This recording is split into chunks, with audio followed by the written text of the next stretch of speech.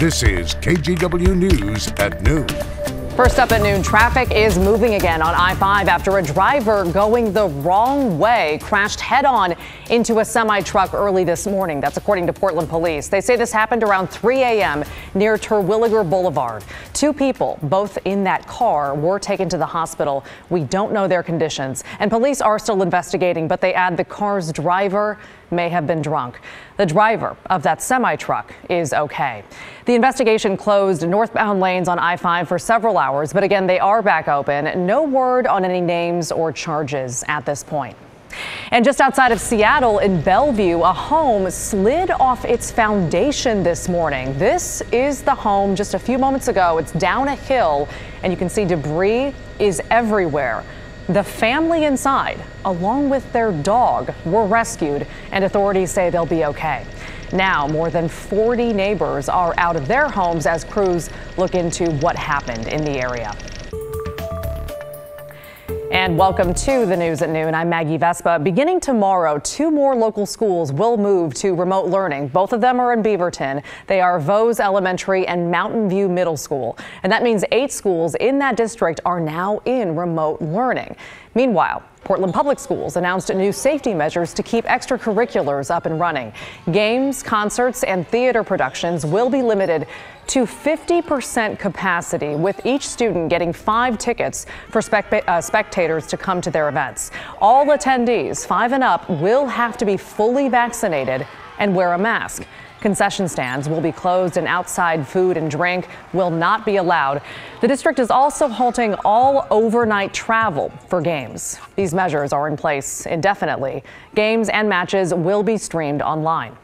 We're tracking the growing list of school closures and changes amid the Omicron wave at KGW.com. You can also text the word school to 503 226 5088 and we'll send the link to your phone. Meanwhile, COVID hospitalizations continue to surge. As of Friday, there were 811 Oregonians in the hospital with the virus. And hospitals were already stretched thin with non COVID patients, and now in some cases, they're being pushed over capacity. In fact, at Salem Health, 85 people, or a quarter of their total patients, now have COVID. And right now, they're at 112% capacity. The difference now from a year ago is that we're greater than 100% capacity. So there's no room. And and that's the part that's worrisome. And we're all holding our breath regarding flu and whether we're going to see see that come uh, this season as well. Similar struggles, by the way, in Bend. Directors at St. Charles Medical Center are projecting over the next month their ER will get three times the normal number of patients. Doctors urge everyone to get vaccinated and boosted.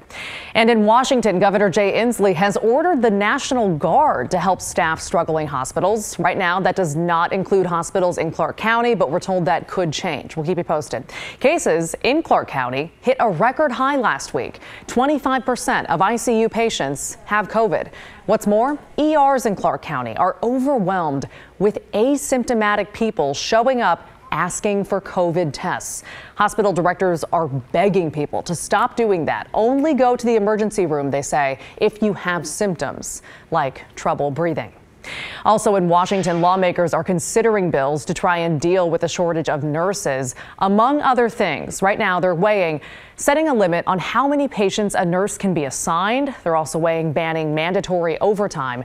And they're considering requiring hospitals to create a committee to oversee staffing plans. Those bills have a public hearing on Wednesday. Also in short supply right now, firefighters. Portland Fire and Rescue says the pandemic is not the problem. They actually blame this on a number of hiring freezes over the last decade. Typically, new hires, they say, train for a year. But with the number of firefighters expected to retire this year, Portland Fire says 12 months for a new trainee is way too long to wait. So for the first time, Portland Fire is using a condensed or shortened training academy. And they're hoping to bring on new hires by April. Well, it could be days before we know the extent of the damage on the Pacific island of Tonga. An underwater volcano erupted on Saturday, and these satellite images from NASA show you the moment that it happened from space.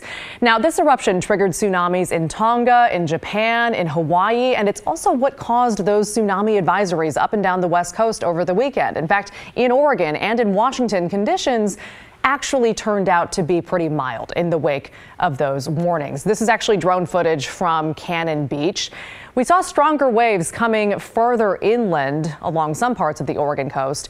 Tsunami warnings you probably saw went out Saturday, and in some cases, onlookers flocked to the beaches to see the waves. Officials say that is dangerous. They encourage people to heed those warnings and stay away. All right, all that being said, Rod is here now to tell us more about those coastal warnings and how high yeah. the water actually got along the coast. Hey, Rod. And, and real quick, Maggie, there's certain terms that we shouldn't exchange, and, and one is advisory and one is warning. A tsunami warning would be far worse alert from the Weather Service than a tsunami advisory. In our area on Saturday, it was a tsunami advisory. So it's important to make that clarification. So here are the, uh, I just picked out the largest tsunami wave heights from the National Weather Service along the west coast. Port San Luis, California, that's uh, down a little bit north of Santa Barbara. They had four feet tsunami waves coming inland. Port Orford, which of course is on the southern Oregon coast, just over a foot. And then Keegan Cove, Alaska up to our north, just about three feet. Uh, the picture behind me, Veronica Gaston said her friend took that at uh, Depoe Bay, I believe that was on Saturday of the splashing up. But for our area, it was generally less than a foot, and it was generally a day where the, the surf was a little higher than normal and the currents were pretty strong. And as Maggie mentioned, per, pretty moderate overall. So that was good news. Right now, oh my, oh my, look at Cannon Beach. One of the spots getting sunshine. They're at 50 degrees. But you go inland, there's uh, Stoller Family Vineyards Estate. She is foggy and 37, and downtown Portland's just three degrees warmer. Some areas are getting some sun. We'll talk about that, and we'll have a chance of rain coming in tonight in my complete forecast. All right, Rod, appreciate it. Thank you so much.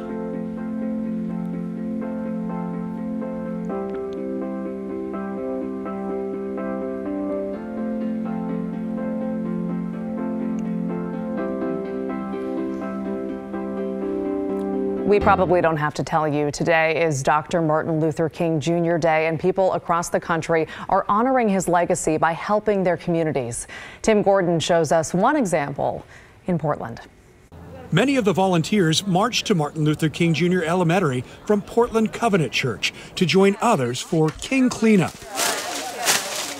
Out came the garbage bags and the instructions. Yes, we walk Grand all the way to Shaver. For a crowd of people out to do good including a kindergartner named Rena. All I'm going to do is just pick up trash, all the ones I see, because we need to help the earth. Rena's dad, Ruben, agrees. Helping the world matters. It's a great opportunity to kind of focus in on what's important and what our neighborhoods look like and, and who we are as a country. Awesome, there you go. Yeah, thank you. So out people went from the school named after the great civil rights leader. Okay, so our plan to protect today is to fan out from northeast, 9th in Alberta to 6th in Alberta, then south from Alberta to Shaver, picking up any litter, any trash that we see. Community service organization Neighbors Helping Neighbors helped coordinate the trash pickup day. Couples, kids, groups of varying size found litter to pick up and refresh this historic Northeast Portland neighborhood. A history that includes Dr. Martin Luther King Jr. Elementary School. The same school that saw a peaceful protest on Friday, with parents demanding King be taken off the list of consideration for relocating Tubman Middle School due to I 5 expansion plans.